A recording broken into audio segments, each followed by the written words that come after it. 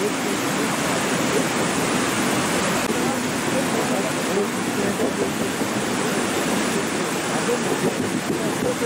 you.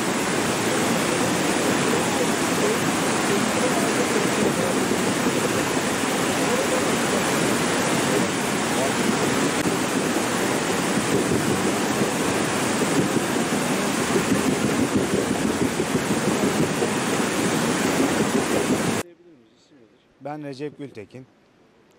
Ee, ka- karşıda oturuyorum. Ee, ailem, annem, babam hala karşıda. Ee, 2019'da daha önce böyle bir sel yaşamıştık. Ee, köprümüz e, yapılmamıştı. Şu anda karşıya ulaşım sağlayamıyoruz. Helikopter bekliyoruz. Helikopter geldikten sonra oradaki insanları bu tarafa tahliye edeceğiz inşallah. Peki karşıda kaç kişi var tahmin olarak? Ee, 30 kişinin üstünde. Yani en az 30 kişi var. 30 35 kişiyi de bulabilir. Sizin anneniz babanız da karşıda herhalde. Evet, annem babam karşıda yaz olduğu için e, buraya e, ikamet etmek zorunda kaldılar.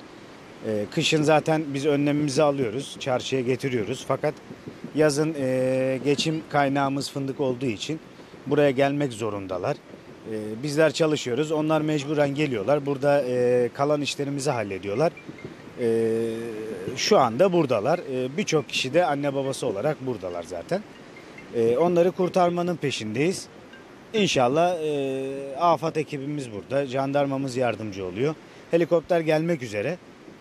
Helikopter geldiği zaman tahliyeye başlayacağız inşallah. Sağ olun. Cengiz Han Dağgül. Karşı tarafta annem babam var.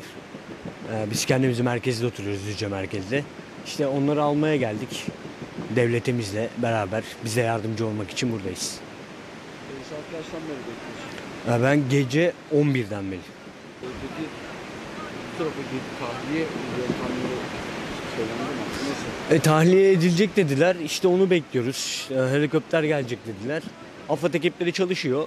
İşte biz de elimizden bir şey gelebilir mi diye burada bekliyoruz.